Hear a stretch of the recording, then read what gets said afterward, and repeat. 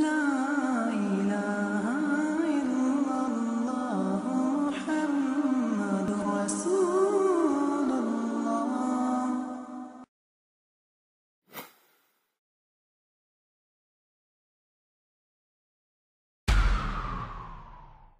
الله الرحمن الرحيم الحمد لله والصلاة والسلام على رسول الله وعلى آله وصحبه أجمعين Liebe Geschwister im Islam und Hallo an alle Nicht-Muslime.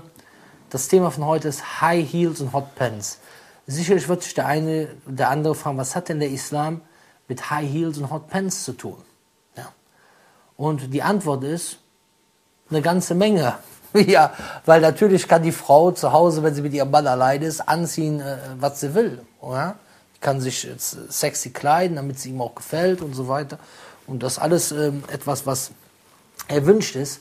Aber worüber ich heute reden will, ist ein Sinn, den das Kopftuch auch hat. Ja? Und das ist etwas, was viele Leute nicht verstehen und womit einige Muslime konfrontiert werden. Das heißt, man hört dann zum Beispiel den Spruch, ja, und das hat mir gestern ein Rentner erzählt, der hat mit einem muslimischen Jugendlichen geredet, hat zu ihm gesagt, guck dir mal die, das, das Mädchen da an. Da stand wohl dann eine hier, so eine mit High Heels und Hot Pants, so nach dem Motto, ja, die gut aussieht. Ja, gefällt dir die denn nicht? Und dann sagt er ja, gefällt mir. Ja. Siehst, das wäre doch schade, wenn die sich jetzt verdecken müsste. So hast du schöne Freude, da kannst du dir das schön angucken nach diesem Motto, ja? So. So, hier sagen wir erstmal, hier sagen wir erstmal, natürlich gefällt einem Mann der Anblick einer schönen Frau. Aber das ist ja gerade der Grund, warum die Frau ihre Reize verstecken soll. Denn es ist einfach von der Natur des Mannes, dass er eine schöne Frau sieht und dass bei ihm verschiedene Hormone geweckt werden. Jetzt wird natürlich dann wieder die Frauenrechterin kommen, ja, also dass die Frau ein Kopftuch tragen muss, äh, wegen, damit den Mann nicht reizt. Das ist ja auch eine Beleidigung des Mannes, weil das heißt ja, dass der Mann seine Reize nicht unter, unter Kontrolle halten kann. Ist da jemand zu Hause? Lebt hier jemand auf dem Mars? Oder lebt hier jemand auf dem Mond? Hey, lebt hier jemand auf dem Mars oder auf dem Mond? Jeder Mensch weiß ganz genau, dass ein Mann, der eine schöne Frau sieht, dass das bei ihm etwas bewegen kann. Das ist das, Normal, das ist das Normalste von der Welt. So, es gibt beispielsweise bestimmte Situationen, wo ein Mann ja eine Erektion bekommt.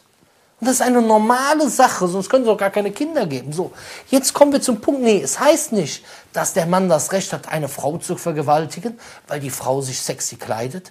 Aber es ist nun mal so, in Deutschland 50 Prozent der Ehen, in 50 Prozent der, der, der festen Beziehungen geht der Mann fremd. Warum? Weil er den ganzen Tag von irgendwelchen anderen Frauen gereizt wird.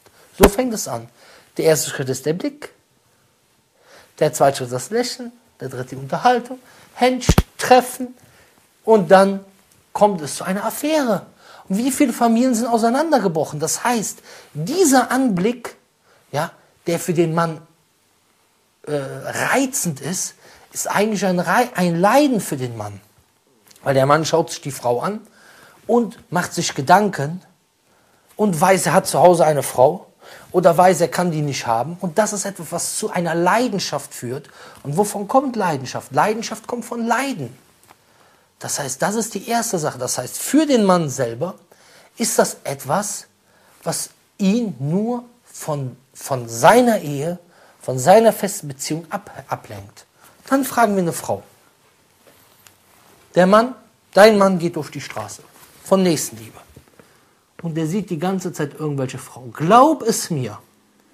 Dein Mann, wenn er diese Frau sieht, weil der ein Mann ist, er wird diese Frau sehen, die schön aussieht und die wird ihm vielleicht besser gefallen, als du ihm gefällst. Gefällt dir das? Und wenn du dann 20 Jahre älter bist und du bist auf einmal 40 und er sieht die 20-Jährigen, sie werden ihm vom Körper her besser gefallen, als du ihm gefällst. Gefällt dir das? Das heißt, hier bringt der Islam erstmal, der erste Fall ist, der Mann kriegt nicht die Leiden. Zweiter Fall ist für die Frau, Nächstenliebe. Dritte Fall, keine Eifersucht bei der Frau. Vierte Sache ist, was ist mit der Frau, die nicht so gut aussieht? In dieser Gesellschaft werden Mädchen diskriminiert, die nicht so gut aussehen. Das ist einfach so. Das ist nicht nur meine Aussage. Deswegen gibt es Mädchen, die Bulimie haben.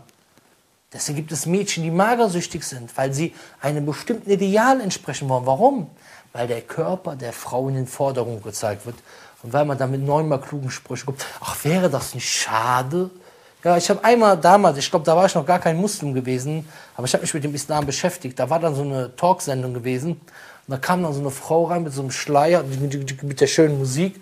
Und dann hat sie das Ding so über den Kopf ausgezogen und war dann voll aufgewacht und hat gesagt, wäre das nicht schade, wenn ich äh, mich verdecken würde? Ja, die kam sich also ganz cool vor. Die, die nächste Sache ist, wie viele Frauen, die am Anfang gut aussehen, dann mit den Jahren etwas nachlassen ja, und sich ihr ganzes Leben lang nur auf ihr Äußeres äh, konzentriert haben, kriegen Depressionen, kriegen Probleme, sind auf einmal unzufrieden mit ihrem Leben. Warum? weil das Äußere der Frau in den Vordergrund gestellt wird, weil die Frau zu einem Sexobjekt gemacht wird. Und die Frau selber kann sich schön machen zu Hause für ihren Mann. Ist es nicht für dich als Frau beruhigender, wenn dein Mann nur dich sieht und deswegen nur dich begehrt?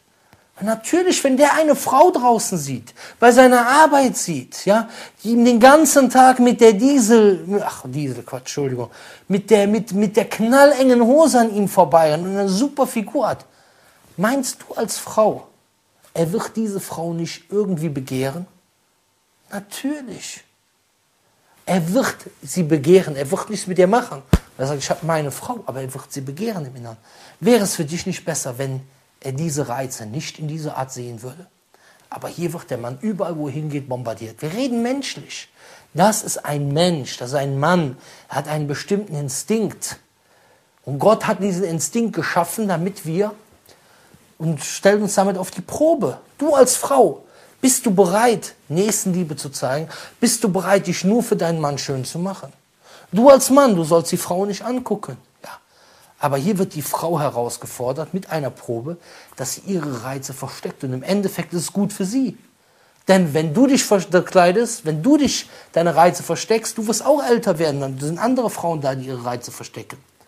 Und auf der anderen Seite, wenn du auf einmal nicht mehr so schön bist, ja, und warst vorher so schön, hast all den ganzen Wert auf deine Schönheit gelegt, dann wird es dir viel weher tun, dass du körperlich nachgelassen hast, als wenn du halt gelebt hast mit dem Bewusstsein, dass dies eine sekundäre Angelegenheit ist.